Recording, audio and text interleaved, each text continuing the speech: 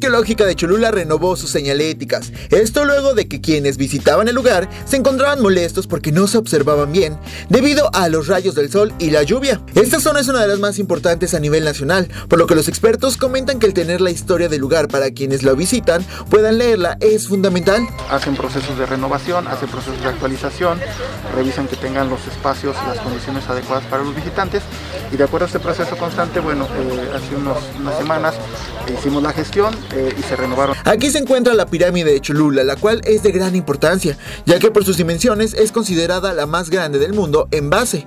Su gran volumen es resultado de la superposición de otras pirámides, ya que la antigua pirámide se cubría en su totalidad para dar paso a una nueva construcción, lo que provocaba que la base fuera creciendo hasta conseguir con el paso del tiempo los más de 400 metros de largo por lado, 66 de altura y cerca de 4.5 millones de metros cúbicos que ostenta.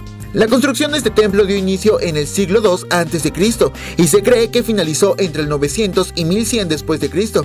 Por su importancia fue objeto de investigaciones de estudiosos como Humboldt y arqueólogos como Manuel Gamio y Enrique Juan Palacios. Para 1930 y bajo la dirección del arquitecto Ignacio Marquina se inician de manera formal las exploraciones arqueológicas a través de un sistema de túneles que permitieron determinar las diferentes etapas constructivas de la Gran Pirámide así como la localización de pintura mural. La zona arqueológica de Cholula se encuentra abierta para todos aquellos que quieran visitarla en un horario de 10 de la mañana a 5 de la tarde, de martes a sábado. Con imágenes de Edgar González para Mega Noticias Puebla, Rodolfo Sosa.